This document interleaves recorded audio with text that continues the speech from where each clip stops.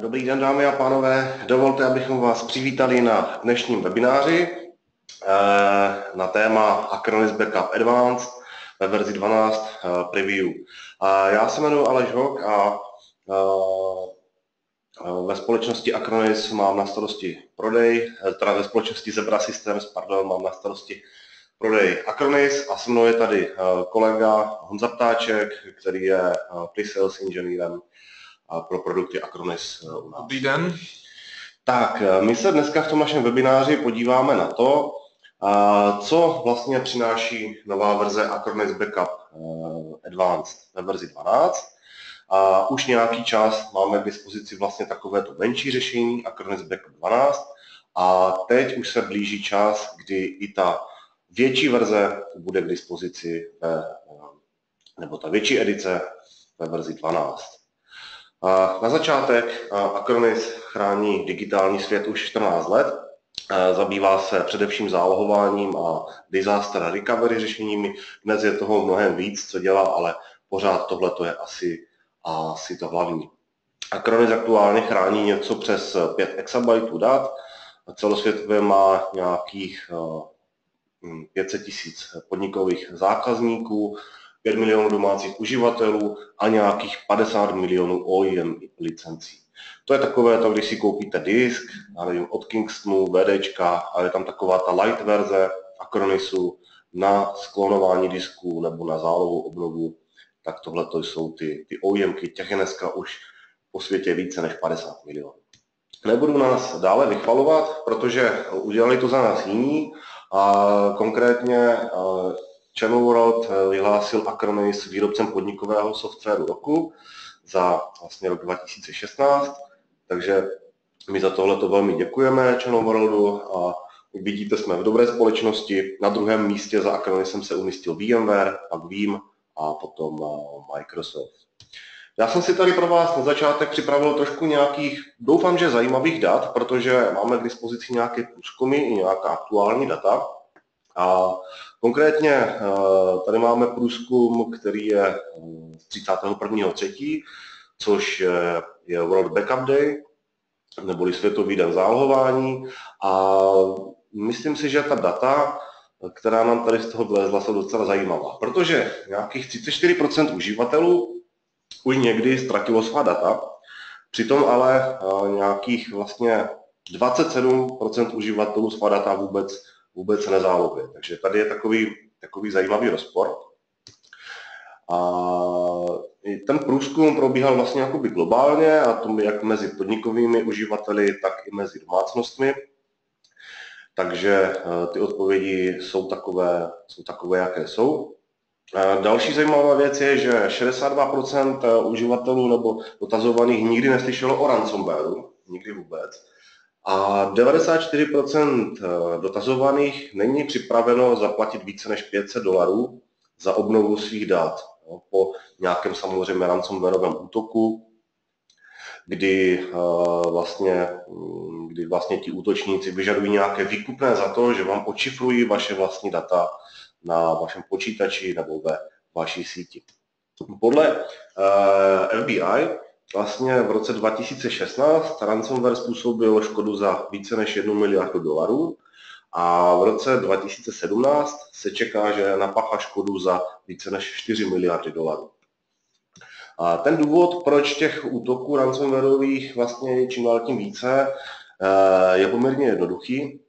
Vlastně ti lidé, kteří vlastně programují ten škodlivý software nebo malware nebo ransomware, tak vlastně dneska už nedělají to, že by si to naprogramovali a sami nějakým způsobem se pokusili útočit. Ono už je to takové sofistikovanější, už je to docela takový biznis. Tihle ti lidé ten svůj, ten svůj software vlastně prodávají dále takovým už řekněme méně sofistikovaným um, uživatelům nebo útočníkům, kteří vlastně si tenhle ten software škodlivý koupí nebo pronajmou, dá se to dokonce používat jako ransomware as a service takže se to tak, že se to dá dokonce pronajmout. A díky tomu prostě hromada lidí, kteří toho moc neumí, si může dovolit prostě napáchat eh, obrovské útoky. Takže to je důvod, proč těch ransomwareů prostě přibývá, čím dál tím více. No a tady už se díváme na obrázek vlastně výkupného. Asi jste zaznamenali, teď je to úplně čerstvá záležitost. Pátek vlastně 12.5. nebo z noci zpátku na sobotu vlastně byl velký, velký útok, velké rozesílání těchto těch, těchto těch, těch ransomwareů. A vlastně tady už se díváme na obrázek toho požadavku na výkupné. Ten útok vlastně se říká, že celosvětově vlastně celosvětově vlastně zamířil na nějakých až 300 tisíc počítačů a v České republice naštěstí podle nějakých čerstvých údajů se to dotklo zhruba jenom asi třech stovek, třech stovek mm, počítačů. A výkupné tam bylo požadováno v tomto případě nějakých 300 eh, dolarů a bylo to cíleno na především starší operační systémy, zabezpečené XP, takže ten úspěch nebyl zase takový. Nicméně bylo to docela ojedinělé masové měřítko, které tentokrát použili. A tady už je takový trošku vtipnější obrázek, který jsem použil z blogu Acronisu. A tady vlastně tohle je nějaký ticket machine. A já si myslím, že to je asi nějaký automat na prodej e, lístků na dopravu. No a tady vidíte, že i tenhle ten, tenhle ten automat se, se ransomwareu se ransomwareu nevyhnou. Tak, eh, tady ještě nějaká citace, dovolím si z českých novin ocitovat eh, z vlastně včerejška Nikolu Grebeníkova z Akronisu, viceprezident, který vlastně prohlásil, že standardní zálohovací produkty, když proti nejnovějším útokům nestačí, pouze řešení kombinující aktivní a pasivní ochranu je schopno poskytnout maximální úroveň ochrany důležitých podnikových dát. A proč to říkám? Protože pochopitelně Acronis proti ransomwareu má velmi účinné řešení, které je vlastně obsaženo v zálohovacích produktech. Acronis jako vlastně jediný dneska zálohovací software má vlastně k dispozici nejenom zálohování a obnovu, ale taky vlastně aktivní ochranu proti ransomware.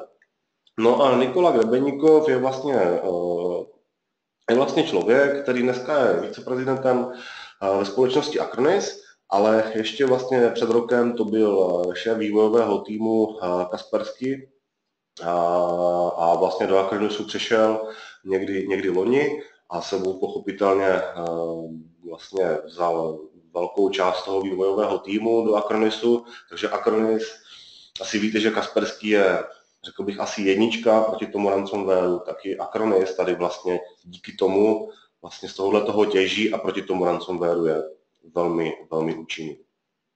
Takhle by to mohlo vypadat, nebo takhle to vypadá vlastně, když eh, zautočí ransomware na nějaký počítač, který je zálohován Acronisem. Uh, úplně velmi jednoduše vysvětlím, vlevo vidíte vlastně nějakou složku nebo nějaký adresář, kde vlastně ten ransomware už vlastně zahájí útok, respektive začíná šifrovat, začíná kryptovat data. Vidíte tady dva za, za, nebo jeden zakryptovaný soubor vlastně a Acronis vlastně nastroj, kde běží agent pro zálohování a je tam aktivovaná aktivní ochrana proti ransomwareu, takzvaný Acronis Active Protection, tak vlastně tam běží jako služba a Acronis tam vlastně hlídá veškeré procesy, analyzuje, co se děje na tom počítači, jaké procesy se spouští. Probíhá tam takzvaná behaviorální heuristika, kdy Acronis vlastně analyzuje všechno tohleto. A protože to chování toho ransomwareu je velmi jednoduché z pohledu toho, co se má dít, že vlastně se snaží zakryptovat za co nejmenší čas, co nejvíce, co největší objem dát, tak vlastně je poměrně jednoduché odhalit to, že se vlastně jedná o ten ransomware. Ta vyšší dívčí je potom o tom, aby vlastně ten ransomware nevypnul tu službu jako takovou, takže vlastně tohle to má Acronis velmi, velmi, dobře, velmi dobře ošetřeno. No a když vlastně Acronis ten atak vidí, tak vlastně vám k tomu adminovi nabídne možnost blokovat nebo, nebo důvěřovat tomu procesu. Pokud když ho blokujete, tak jde na blacklist, který si pak můžete samozřejmě zpravovat. Tenhle ten proces vlastně se zastaví a k tomu dalšímu kryptování nedojde. Zároveň pokud máte nastaveno v Acronisu, tak můžete mít přednastaveno to, že automaticky se všechna tahle napadená data obnoví zpátky ze zálohy. Jo? Buď to si to děláte ručně, nebo máte nastaveno, že po jakémkoliv takovém ataku, který je zablokován, se data obnovují zpátky. Takže zcela automaticky, zcela automaticky eh, dochází k obnově. Takže to bylo velké téma ransomware a my tady máme i nějaký průzkum už trošku jakoby z našeho trhu, který teda je lednový, takže není tak čerstvý, jak, jak ty data z toho World Backup Day a vlastně z toho, z toho pátečního útoku. Nicméně náš průzkum nám říká, že vlastně 94% českých firm musí obnovit svá ztracená data do 24 hodin, aby zůstali bez vážnějších následků na své podnikání. A co to znamená, pokusím se přeložit.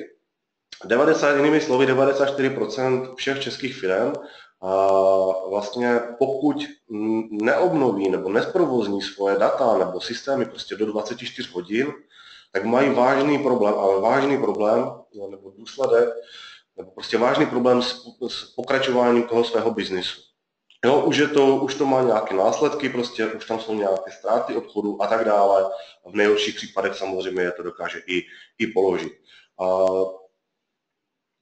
tak, eh, tam je potom, eh, jsou samozřejmě, to je nějaký, to je nějaký 94%, jsou tam potom i podrobnější data, kdybyste se chtěli mrknout na blogu Acronis.cz, je tam asi 10% firm, které pokud neobnoví do hodiny, tak už tehdy mají nějaký prostě obrovský problém s tím svým pokračováním dalším. Takže je tam nějaká desetina firm, které prostě musí do hodiny jet a bez toho, bez toho je prostě obrovský průšvih.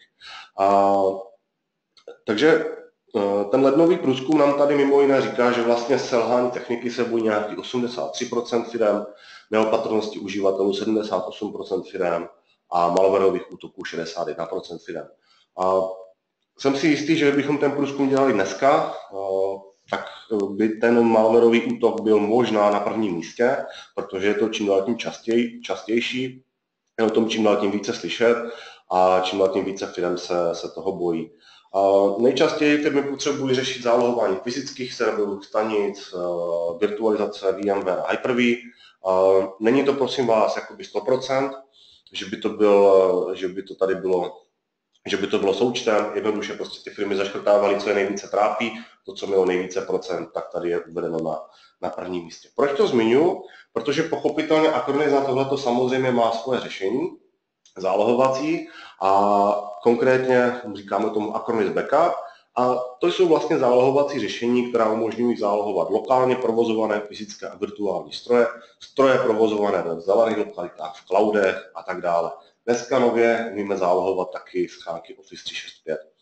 K tomu pochopitelně Acronis používá eh, své léty ověřené technologie, jako je disk imaging, souborové zálohy, možnost obnovení na jiný hardware, granulární obnova databází, replikace virtuálních strojů do jiného umístění a tak dále. Takže tohle to vlastně umožňují naše produkty Acronis Backup, kde v roce 2016 pro zajímavost jsme v globálním měřítku zaznamenali nějaký 40% nárůst, co se týče prodejů. No a e, co my vlastně dokážeme řešit, tak od nepaměti je to vlastně to, že Acronis umí zálohovat a obnovovat a provádět disaster recovery pro na Windows mašinách, ať už serverech či PC, tak i na Linuxu. Potom, jak šel čas, tak tomu přibyla možnost zálohování a granulární obnovy pro Exchange, SQL, SharePoint a Active Directory. Umíme obnovovat pochopitelně jednotlivé položky, nejen celé databáze nebo celé stroje. Dále potom, jak přibývala virtualizace, tak stále aktuálnější bylo zálohování virtuálního prostředí, ať už ve VMware a Hyper-V. Potom přibyly vlastně možnosti zálohování eh, Azure a Amazonu.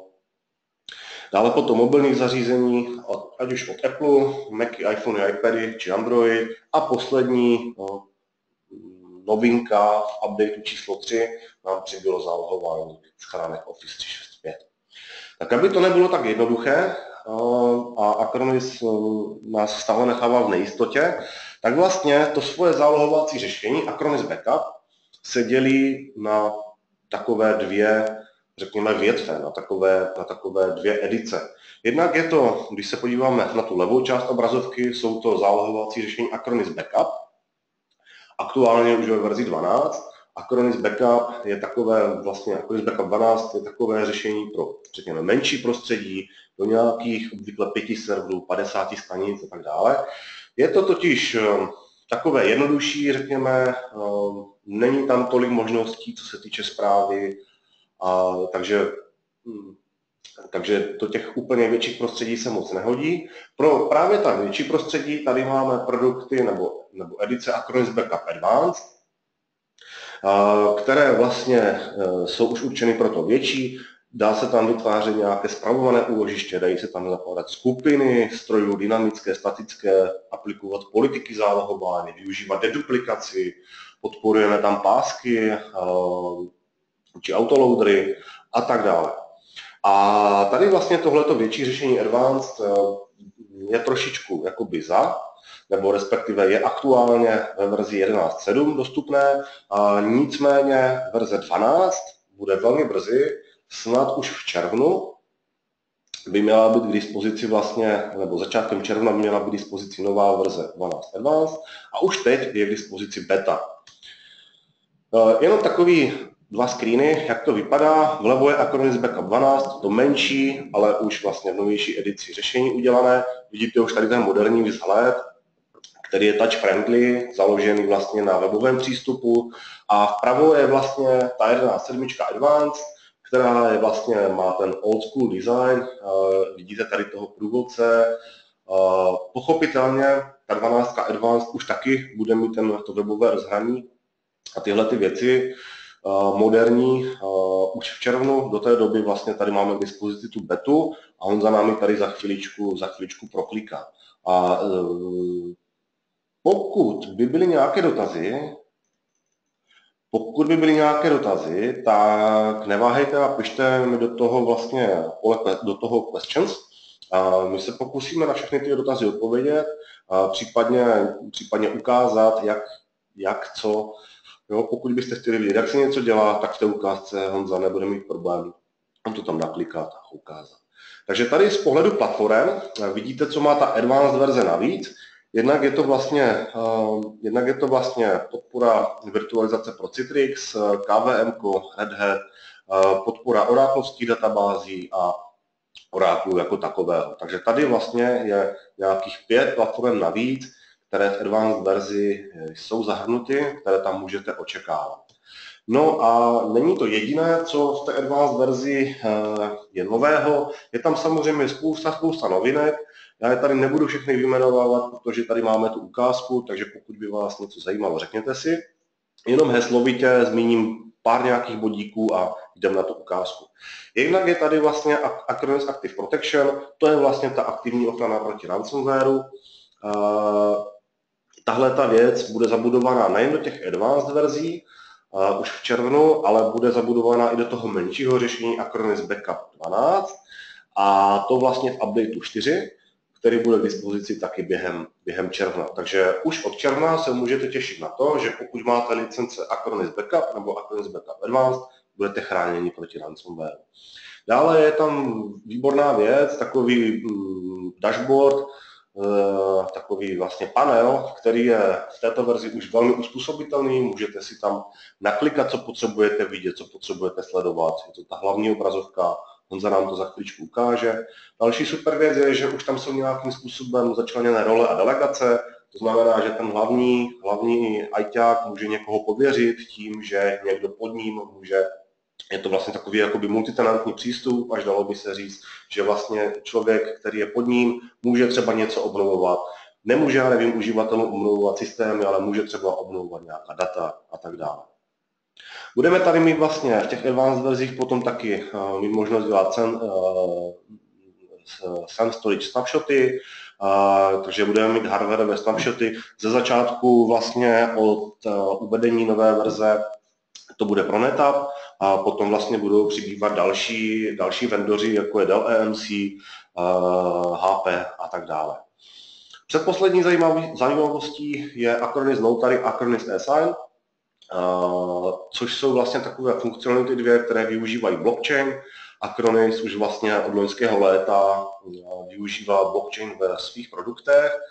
A blockchain je vlastně taková řekněme, distribuovaná databáze, která zaručuje vlastně pravost a integritu dat.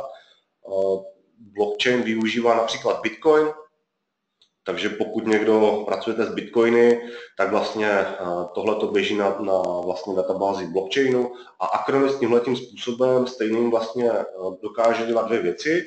dokáže ověřit pravost vašich záloh a dokáže vlastně i s pomocí toho blockchainu vlastně vám vlastně ověřit podpis, nebo respektive můžete, jak bych to vysvětlil, možná, jestli to tam dokážeme udělat, ukázat nějak, co to je. No, Uvidíme. Uvidíme. Uh, Acronis Asign, abych vysvětlil, kdo znáte True Image New Generation, taková ta prémiová edice, tak tam už ten Asign je vlastně taky. Je to, je to taková možnost vzít nějaký třeba dokument nebo jakýkoliv soubor a pomocí Acronisu ho poslat někomu dalšímu. A ten člověk to podepíše, je to ideální na nějaké prostě korporátní smlouvy a tak dále ověří se ta pravost, pošle se to zpátky a dá se to hodit do zálohy. Jo? Prostě máte, máte ověřenou pravost prostě podpisů. A poslední věc, off-host backup processing, opravdu jsem tady nenašel české slovo, jak bych to nějakým způsobem popsal. A je to vlastně ta záležitost, že může práci především se zálohami provádět nějaký další pověřený stroj. No, abych to vysvětlil, Acronis Backup 12, tom menším řešení, všechno, co se děje se zálohami, vykonávají agenti. No, dejme tomu, že zálohujete třeba fyzické servery, tak na tom fyzickém serveru běží Acronis agent, který má vlastně nějaký backup plán, že se má něco odzálohovat, má se to někam uložit, má se tam držet nějaká retence, tudíž už je tam nějakých x přídustků, tak se má něco v úložišti odmazat a tohle to všechno bude dělat ten agent, to znamená zátěž je na něm. Of-host backup processing a backup advanced edicích znamená to, že ten agent jediné, co udělá, je, že vytvoří zálohu nebo ten, jdeme tomu, přírůstek nebo rozdíl a uloží ho do úložiště. O všechno ostatní věci, jako je vlastně validace záloh, věci je jako udržování retencí, odmazávání, slučování, eh, případně deduplikace, o tohle to už se stará nějaký další stroj, který vlastně vy k tomuhle tomu pověříte. Takže můžete mít nějaký dedikovaný řekněme, storage server, který se o tyhle ty záležitosti bude starat. Můžete a nemusíte to využít. Je tam tahle ta možnost. Tak a teď už bych předal slovo Honzovi, protože uh, tu nudnou část už máme za sebou a teď by nám Honza zkusil ukázat, jak Acronis Backup 12 Advanced, zatím v beta verzi teda, jak to vypadá a co tam umíme. Připomínám, uh, posílejte dotazy do pole question. Uh, pokud budete chtít něco vidět, zkusíme, zkusíme si to, si to předvést. Tak, já se teda tady otevřu nějaký prohlížeč, už, už vlastně na úvod předesílám. Kolega mě poprosil, abych se hlavně zaměřil právě na ty změny mezi, mezi verzí 11.7 Advanced, mezi verzi 12, řekněme neadvanced a tou novou 12 Advanced verzí. A hned už tady tohle všimněte si, že neotvírám žádného tlustého klienta, že opravdu otevírám prohlížeč a hlásím se do, do, nějaké, do, ně, do nějaké, řekněme, webové stránky, je jedna z velkých změn oproti původní verzi 11.7. To znamená, Acronis Backup Advanced i neadvanced verze se zhodně manažují pomocí vlastně webového prohlížeče. A oproti té neadvanced verzi, tak eh, tady je samozřejmě podpora už, eh, řekněme, nějakého takového multitenantního přístupu, eh, kdy si jakožto administrátor můžu nastavit, kterou část strojů má který člověk, ať už z lokálních účtů nebo z domenových účtů potom, potom na starost. A určitě, určitě za chvíličku ukážu, jak a kde se to nastavuje. Tak, já se teda přihlásím do do managementu. Samozřejmě pokud eh, bych ten management server měl eh, součástí domény, byl bych přihlášen pod uživatelem, uživatelem, který tam má přístup, tak mě to rovnou automaticky autentifikuje a nemusím zadávat žádné eh, uživatelské jméno, heslo. To, co vlastně teď vidíme, tak jsme v managementu Aconis Backup 12 Advanced verze, a vidíme před sebou dashboard, který je vlastně úplně nový. Ten eh, takovýhle dashboard nemá, eh, nemá ani ta neadvanced verze. Ten dashboard je plně přizpůsobitelný, to znamená, jsou tady ve výchozím stavu nějaké, nějaké widgety, já se samozřejmě můžu, můžu uspořádat, posouvat, jak se mi to hodí, můžu eh, nějaký widget smazat a samozřejmě můžu si ty widgety přidávat. A celá tady vlastně tahle, ta, tahle dashboard je založen na produktu související se zálohování jako monitoring a můžu si vybrat nějaké grafy, můžu si vybrat tabulky, no, tabulku zařízení, tabulku chráněných zařízení, výstrahy, plány, licencování, můžou to být sloupcové grafy, anebo nějaký jednoduchý prostě seznam mm, třeba, třeba zařízení, které nejsou, která nejsou chráněna. O, tak tady mám vlastně seznam všech zařízení, na které nemám aplikovaný žádný zálohovací plán. Samozřejmě je možné stáhnout ten, ten dashboard třeba jako PDF, a případně si jej můžu poslat rovnou do mailu, nejen sobě, ale, ale komukoliv jinému. Co je určitě tou největší změnou, co jsem, co jsem i nastínil, no, mezi tím se mi tady teda stáhl ten, ten PDF report, jo, takže takhle to potom, vlastně celý ten dashboard potom je, je jakoby PDF. Co je tou velkou změnou, tak to je, ta, to je ten multitenantní přístup. Víte, že když já si v nastavení nadefinuju nějaké, řekněme, pobočky nebo unity, případně jiné uživatelské účty, tak já se můžu přepínat do těch pohledů na ty, na ty jednotlivé pobočky. Jo, to znamená, Acronis Backup 12 Advanced umožňuje vám jakožto hlavnímu administrátorovi delegovat část úkonů, část zprávy a starostí o zálohování nějakému třeba vašemu zaměstnanci.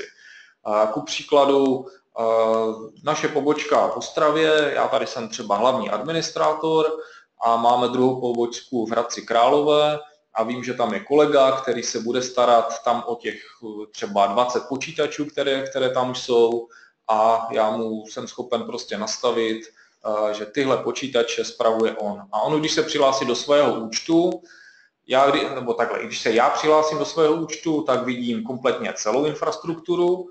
Když by se on přihlásil pod svým účtem, tak tady uvidí třeba jenom těch prvních pět počítačů, nebo prostě to, co já mu zadefinuju, to, na co on má nárok, co může spravovat, co může zálohovat a obnovovat. Takže to je, to je eh, jedna, z, jedna z velkých věcí, která, která zatím chyběla. A, tak, co se týče toho, toho menu vlevo, eh, jak už kolega zmiňoval, je to, je to ještě trošku beta verze, eh, to znamená něco je v češtině, něco je v angličtině, takže to se samozřejmě do vydání finální verze, verze vyladí. Mimo dashboard je tady potom už sekce výstrahy, kde se ukládají nebo jsou zobrazeny takové ty největší hrozby, chyby, upozornění. Samozřejmě, jakmile je ta výstraha odstraněna, tak ji tady můžeme vymazat a už je, už je pryč. Sekce aktivity, to je, to je jednoduché, to je prostě log napříč celým, celým prostředím, které se zálohuje. Dá se tady vyhledávat, sortovat, ale to už, to už je takový nějaký standard. A potom jsou tady reporty. Reporty jsou tady nějaké přednastavené reporty, ale samozřejmě můžeme si vytvořit i úplně vlastní report. To znamená, vybereme v pravém sloupci Create Report, jestli se ten report má týkat nějaké sumarizace, licencí, zálohování, nebo úplně vlastní, vlastní custom report. A tenhle ten report se pak samozřejmě dá nastavit, to znamená, můžu si ho naplánovat, jestli se má ukládat do nějaké složky, posílat mailem, jestli to má být PDF nebo CSV, časový rozsah, prostě veškerá, veškerá customizace je tady možná. Dá se jakoby ad hoc ten report eh, vygenerovat, zaslat, jo, kompletní, kompletní prostě, prostě zpráva eh, toho, co v tom reportu chci, chci vlastně mít. O, takže zase si můžu vybrat, prostě, který z těch widgetů má být obsažený v tom, v tom daném reportu. Takže velmi, velmi pěkná, pěkná zpráva informací a dění v tom, v tom zálohovacím světě. Sekce zařízení, to je víceméně uh, stejná sekce, jako má Acronis Backup 12, ta menší varianta, to znamená uh, přehled všech, uh, všech strojů, pokud máme i virtualizační prostředí, nebo třeba chceme chránit, já vím, třeba SQL server, tak tady přibyde řádek Microsoft SQL a zase se nám zobrazí, které ty servery mají ten, tu SQL databázi, Jo, takže to je prostě jenom náhled na tu, na tu naši infrastrukturu. Samozřejmě, co už je potom jiné, tak jiné jsou tady eh, ty možnosti v tom pravém sloupci, eh, kde kromě klasické eh, zálohy a obnovy je tady právě i zmíněný, zmíněna funkce Active Protection Plan. To je ta funkcionalita, která, kterou když zapneme, tak ten daný počítač nebo server s agentem chráníme proti tomu ransomwareu. My tady už nějaký plán aktivovaný máme, ale podíváme se, co nám to vlastně jakoby nabízí. Nabízí nám to vlastně, co dělat v případě, že dojde k nějaké detekci. My můžeme buď administrátora pouze upozornit, Jo? Takže čistě jenom prevence. Můžeme ten proces jenom zastavit, to znamená, administrátor dostane upozornění, proces se stopne, ale s těmi datami, ať už jsou nebo nejsou zašifrované, nic se dále neděje. A nebo třetí možnost, to je použití jakési cache, to znamená, vygeneruje se upozornění, zastaví se proces a vlastně ze, vlastně ze zálohy se obnoví ten daný soubor, který byl potenciálně zašifrován. Eh, samozřejmě dá se tady definovat, eh, které, eh, které procesy mají se vyloučit z té kontroly proti tomu ransomwareu. Typicky to může být třeba nějaký antivirový program a podobně, které složky se mají vyloučit. A pak tady jsou, pak tady jsou ještě definovány nějaké procesy, které, které budou jakoby, pokud třeba máme nějakou vlastní definici nebo nějakou databázi toho, kde nejčastěji sedí ty ransomware, ty, ty, ty zdrojové soubory, tak, anebo jejich název, tak tady je můžeme zadefinovat. Pokud se něco takového objeví v naší síti, tak automaticky i bez činnosti to bude eh, hned označeno jako, jako ransomware a, a zablokováno. Tak, jo, tak to znamená uh, opravdu uh, pouhým tlačítkem apply se na tom agentovi spustí tady ten Active Protection a v ten moment je ta stanice chráněna uh, proti tomu, proti tomu ransomwareu. Z dalších věcí, co tady, co tady ještě přibylo mimo standardní přehled, je tady teda trošičku více informací v tom přehledu.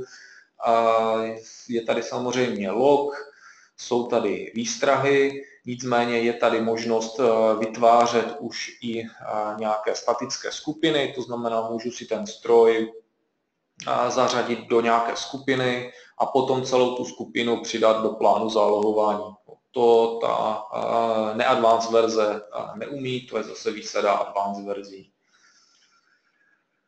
Um, takže to jsou, to jsou vlastně zařízení, pokud, pokud vyberu nějaký třeba virtuální stroj, prostřednictvím třeba agenta pro VMware, tak tady samozřejmě mám navíc ještě, ještě replikaci. A co je podle mě eh, taky hrozně zásadní a hrozně důležitá věc, eh, co kolega zmiňoval, tak je ten eh, off-host backup processing. Hmm, možná já se to pokusím trošičku jakoby přeložit. Plně jednoduše řečeno je to přenesení zátěže na prostě jiný, jiné zařízení nebo přenesení zátěže z produkčního prostředí na nějaký stroj k tomu, k tomu určený. A možná si říkáte, že částečně to už uměla i ta 11.7 Advanced verze. Ano, Storage Note částečně tady tyhle věci dělal, ale vždycky, vždycky tam byl potřeba mít, mít toho agenta, agenta online A tady je to opravdu, opravdu už dotaženo tak do dokonalosti, že vyloženě nemusí to být jenom storage node, může to být opravdu třeba agent na jakékoliv jiné, jiné stanici, který může dělat uh, třeba, třeba jakoby validaci nebo, nebo čištění toho archivu. No, to znamená sekce plans, mám tady backup plány, tady je vlastně jenom nějaká taková statistika, kde vidím, kde vidím ty backup plány, které mám vytvořeny. Já tady mám dva, mám tady backup plán, který dělá zálohu disku C na nějakou NASku a zálohu celého virtuální stroje na NASku. A ty plány vlastně vidím, že jsou tenhle ten první přiřazen jednomu zařízení, ten druhý dvěmi zařízení. A já ty plány tady můžu hromadně zakázat, smazat, ale už i vyexportovat, což taky ta eh, neadvanced verze neumí a pak tady jsou potom i nějaké detaily. Pokud samozřejmě budu mít takovýto export, tak si o to můžu zpět naimportovat třeba do jiného management serveru. Backup replication, to znamená replikace nebo odkopírování nějaké, nějaké zálohy na nějaké jiné úložiště. Zase vytvářím proto zvlášť plán. Můžu, nemusím. Samozřejmě tu replikaci můžu řešit stejně jako doteď v rámci zálohovacího plánu. To tam samozřejmě je možné, ale zároveň je možné eh, vůbec nezatěžovat ten produkční server nějakou replikací nebo validací a vytvořím si na to zvlášť plán. A, druhý případ je potom takový, že ty replikace chci dělat třeba jenom přes noc, jo, což doteď taky nebylo možné. Takže můžu si každý den, eh, každou hodinu zálohovat a jenom přes noc si to zreplikovat třeba do druhého úložiště. To je teď už taky možné. Jo, vidíte, že tady mám prostě první řádek agenta, který to bude dělat, tu replikaci. Můžu vybrat libovolného agenta. A položky eh, vlastně k replikaci, cíle replikace, co replikovat a, a tak dále. Jo, prostě nastavení replikačního jobu. Úplně to stejné vlastně u validace. Zase vytvořím plán pro, pro validaci, kdo ji bude provádět, co se bude validovat, kdy a tak podobně. Stejně tak e, vlastně čištění archivu, takže zase můžu v zálovacím plánu nastavit retenci, ale nemusím, můžu si pro tohle vytvořit zvlášť cleanup, cleanup vlastně plán. Konverze do virtuálních strojů, e, zase můžu si vytvořit, e, vytvořit plán. A je, jsou, tady, jsou tady potom různé e, možnosti i, nějakých, i, i nějakého spuštění toho, toho, toho zařízení, jo, kdy se má čekat třeba na, na ten e, virtual machine heartbeat a jakmile, jakmile prostě ho ten nakonec dostane, tak, tak se tam vygeneruje nějaký, nějaká zpráva o tomhle. Takže to samozřejmě slouží i k testování eh, těch, těch, těch záloh. Eh, VM Replication a potom je tady eh, Bootable Media, to je z dalších nových funkcí Acronisu. Já vám to řeknu jenom takhle ústně, protože celé to zavaděcí médium se dá vytvořit pomocí Bootable Media Creatorů, na, na to jste normálně zvyklí, nicméně je tam spoustu novinek a Jednou z nich je to, že si můžete už při vytváření toho média nadefinovat eh, vlastně, co po spuštění se má dít. To znamená, to médium může, eh, může to být takový ten self-healing, kdy prostě eh, dáte uživateli jenom flešku a on v případě, že bude mít problém, tak ji tam strčí, zrestartuje počítač a celá obnova se provede sama. To znamená, nadefinujete si plán, který bude obsažen v tom zaváděcím médiu, a po nabutování se vlastně všechny ty kroky, které si tam nastavíte, tak se provedou vlastně autonomně. Sekce zálohy potom tohle, tohle znáte z dosavadní 12 verze. Je tady vlastně zobrazený nějaký náhled na, na úložiště. Samozřejmě těch lokací tu může být více. Můžeme se dívat do toho úložiště, jaké tam jsou, jaké tam jsou zálohy, jo, potom je tady nějaké, nějaké akorát více, více podrobností.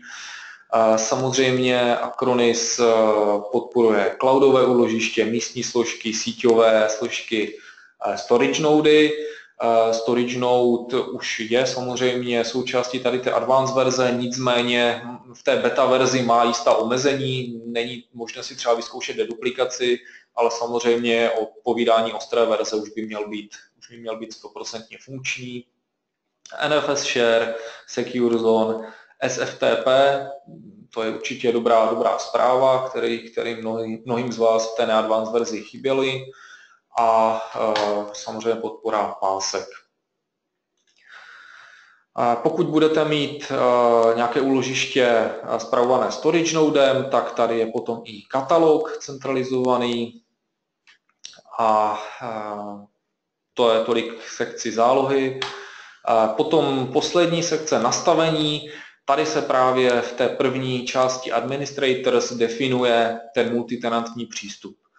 Standardně vlastně po instalaci máte pouze tady tu nejvrchnější, hm, řekněme, část, to znamená tu vaši organizaci a vy si můžete eh, do té organizace přidat administrátora a nebo si eh, vlastně vytvořit eh, ještě jakousi unitu, česky přeloženo jednotku, což nejvíc dává smysl třeba nějaké pobočky anebo oddělení No a samozřejmě i té pobočce si potom můžete eh, zase vytvořit pod, eh, pod jednotku anebo, nebo přidat administrátora. Eh, samozřejmě pokud máte doménu, tak je to napojeno na, na AD a stačí vlastně takhle, takhle projít, přidat a rovnou máte vytvořenou vlastně tu, tu skupinu a kdo je za ní zodpovědný.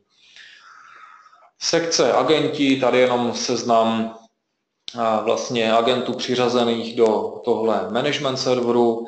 Licence, tady je náhled na vlastně licenční server, to znamená, jaké, jak, kolik, kolik jakých licencí máte, jestli subskripce a podobně, kolik jich, kolik jich je přiřazených. Nastavení systému, tady je akurát e-mailové upozornění, e-mailový server a nějaký default backup options, to znamená to, co se používá, co se propisuje ve výchozím stavu do těch zálohovacích plánů.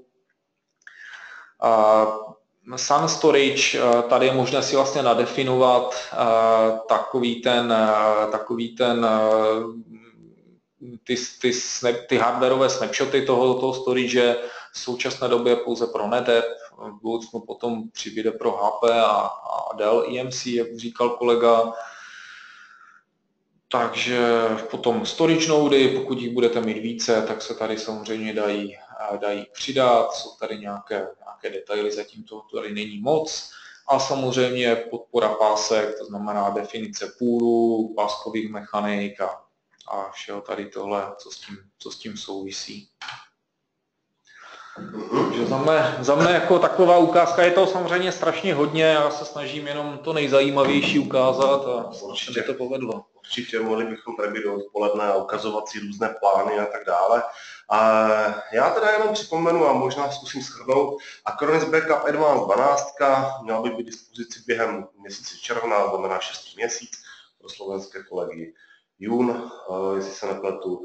A eh, je to takové řešení už opravdu pro větší organizace, dokáže si poradit, dejme tomu, ze stov, stovkami strojů, které dokáže zpravovat. A řekl bych, že pro toho IT manažera nebo toho hlavního správce tahle ta edice nebo tenhle ten, tyhle ty produkty z rodiny Acronis Backup Advanced velice usnadňují život.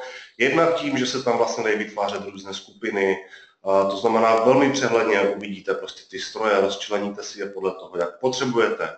Může to být v jedné lokalitě, můžou to být geograficky oddělené lokality, s tímhle tím samozřejmě Acronis počítá, dokáže s tím pracovat. Můžete si jednoduše měnit úložiště, když to připodobním k té menší edici, pokud si tam naklikáte 30 strojů, nastavíte pro ně backup plán, tak je to fajn, ale v okamžiku, kdy si změníte uh, storage pro backupy, tak musíte ve všech těch plánech prostě tohleto poupravit. Tady ta advanced verze na pár kliknutí prostě změníte nějaký centrální, centrální storage nebo centrální vault pro ty zálohy a tak dále a tak dále. Takže veliké zjednodušení, zároveň pochopitelně ten dashboard vám dává okamžitý přehled. A disaster recovery plán mě tady napadlo, jak říkal Honza, s tím zaváděcím médiem. Můžete zmenšit z jedné A4 na asi dvě věty a disaster recovery plán, když jdete na dovolenou, můžete nechat Frantovi a tam bude první řadek Franto. Pokud ti něco nenastartuje, tak tady sáhni do šuplíku, vytáhni z toho tady tu flešku, vraží tam, restartni ten kont a pak tu flešku vytáhni. Takže takhle se dá zjednodušit uh, ten disaster recovery plán, kdy vy dokážete pomocí toho Acronisu nebo Acronis Backup Advanced prostě do toho um, procesu nebo vůbec uh, jakoby zapojit lidi, kteří třeba nejsou vůbec uh, ajťáci nebo vůbec tomu nerozumí, ale v podstatě vy si nadefinujete, co, co, co, co má kdo dělat a tahle ta edice s tím velmi dobře pomůže. A stejně tak můžete, můžete vlastně uh, pověřit lidi, kteří budou vlastně provádět nějaké úkony se zálohování a obnovou třeba v době, kdy tam nebudete, nebo prostě nebo prostě uh, budou to dělat běžně oni, nemusíte se zabývat každou, každým obnovením souboru, kde nějaký uživatel tohle to bude potřebovat, to může, to může dělat uh, za vás klidně.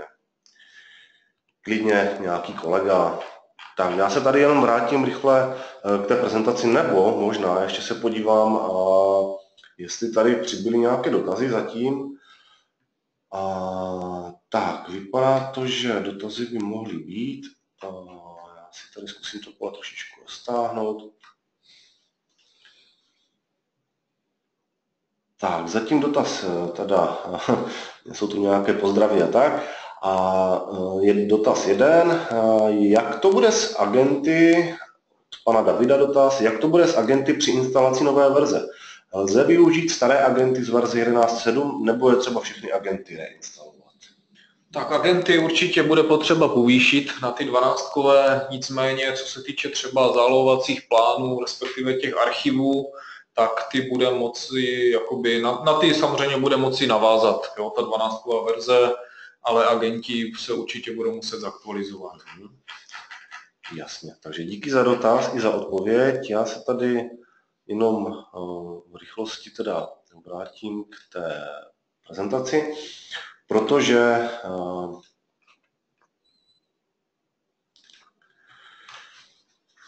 pokud byste si chtěli tu betu vyzkoušet, říkám, je to otázka několika málo už dnů nebo týdnů vlastně, kdy by měla být k dispozici finální verze Acronis Beta 12 Advanced. Nicméně, pokud byste si chtěli vyzkoušet tu betu, kterou tady máme my, tak se můžete zapojit do beta programu a vlastně do té doby, než vyjde ta ostrá verze, tak můžete zdarma vlastně používat a testovat tu beta verzi. Je to teda na Acronis.com, když tak, spíš, když tak zkuste vygooglit beta Acronis Backup Advanced, jednoduše se můžete zapojit přijde vám odkaz pro stažení instalačky a můžete začít používat. Takže připomínám, vlevo menší edice, vpravo větší edice, která je teďka ve verzi 1.7 a bude ve verzi 12. A tady ještě nějaký pohled, jak to vypadá jakoby licenčně.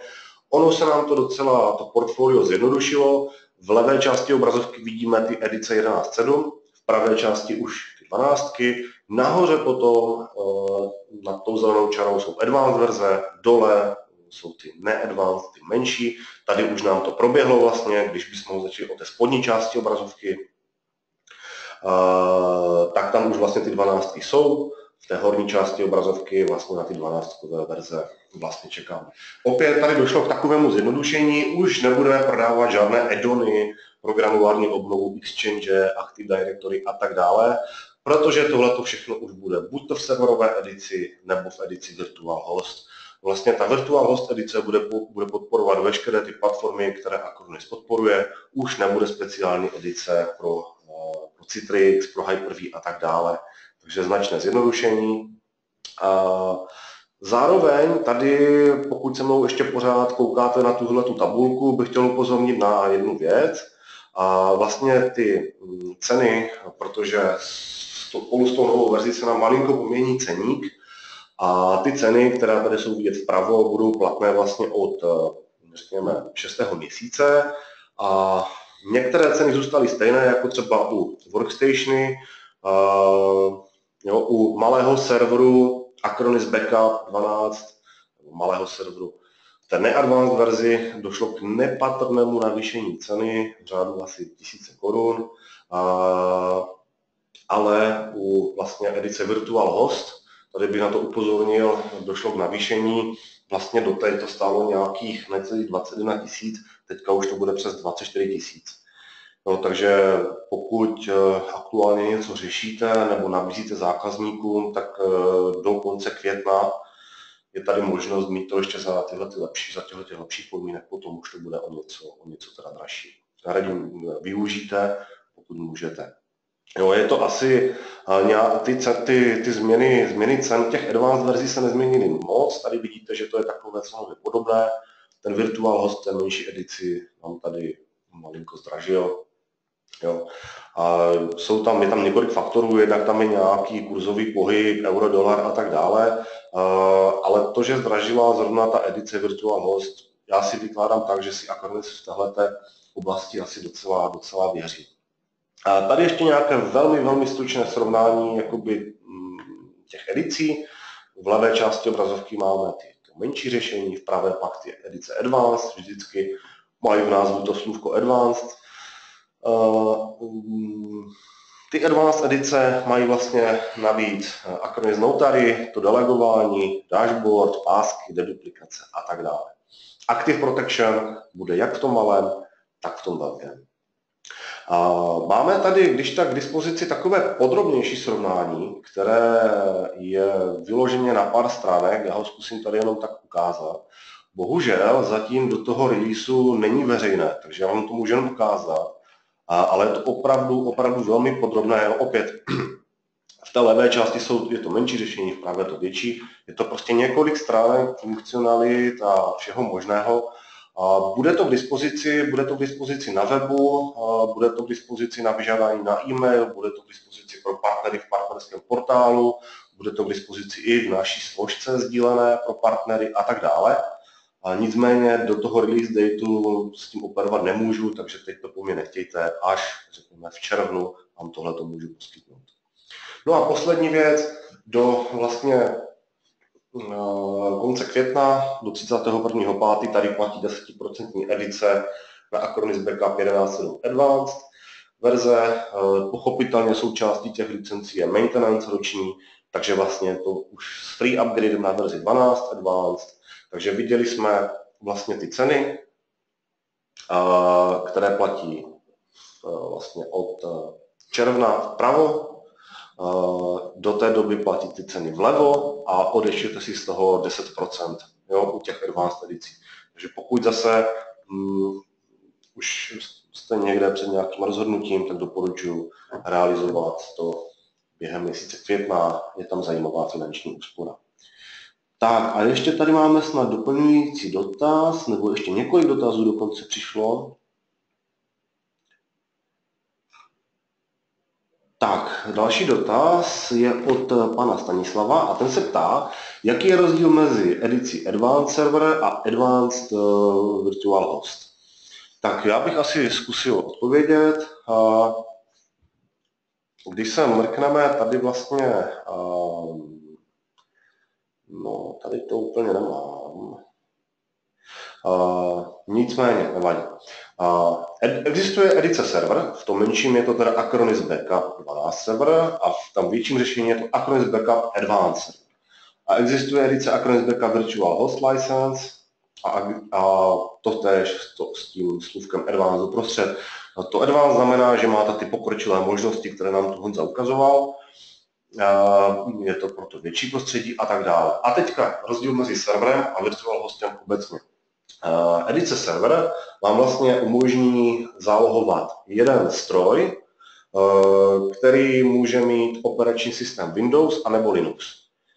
Takže typicky, pokud máte prostě fyzické servery, Windowsovské nebo Linuxové, tak pro každý stroj potřebujete vlastně jednu licenci a buď to, pokud máte menší prostředí, tak doporučuji použít Acronis Backup 12 server, pokud máte větší prostředí, budete to kombinovat ještě s něčím a tak dále, těch strojů je více, tak doporučuji použít pro každý ten stroj Acronis Backup 12 Advanced Server. Protože to je per licencování per stroj. Uh, pro fyzické servery, řekněme. A edice Virtual Host Potom má licencování jiné. Tahle ta edice umožňuje vlastně zálohovat eh, fyzického hostitele, ať už je to VMware nebo Hyper-V a jeho eh, virtuální stroje, které na něm běží.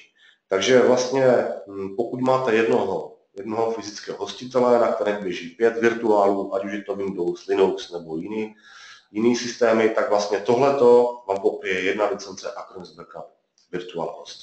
A ten způsob nasazení je dvojí, buď toto použijete jako bezagentové zálohování s tím, že na hostiteli e, běží Acronis Agent pro VMware nebo Hyper-V a ten zálohuje zvenčí virtuální stroje, které, které vlastně e, tam běží. A nebo můžete nainstalovat agenta dovnitř těch virtuálních strojů a používat to zálohování tímto způsobem. Rozdíl tady v té malé edici a v té větší edici u Virtual Hosta navíc je v tom, že v malé edici je podporován pouze ESXi, eh, e eh, Hyper-V, eh, případně, případně FreeESX. Tohle to vlastně dokáže zálohovat ta malá edice a ta velká edice už bude vlastně podporovat všechny ty naše platformy, které Acronis podporovat umí, od VMware přes Hyper-V, Citrix, Red Hat, Oracle a tak dále. Takže tam je i potom více těch podporovaných platform. Tak, ještě nějaký dotázek.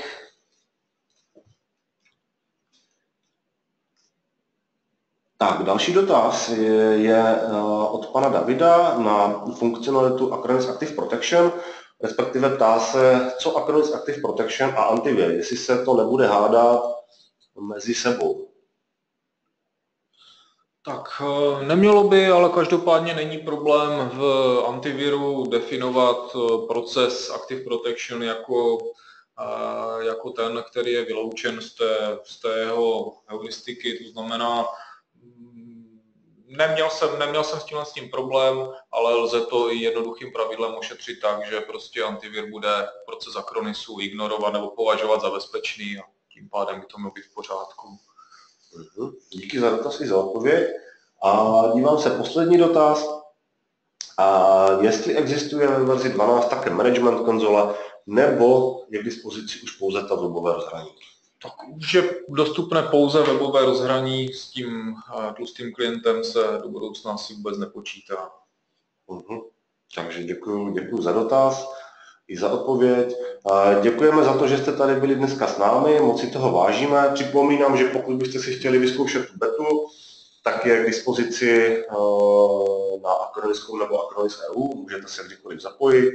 A k dispozici bude do uvedení eh, vlastně ostré verze, to by mělo být někdy snad začátkem června, takže my se budeme těšit na viděnou, slyšenou eh, někdy, někdy příště a děkujeme za pozornost a přejeme hezký den. Mějte se, nashledanou. Naschledanou.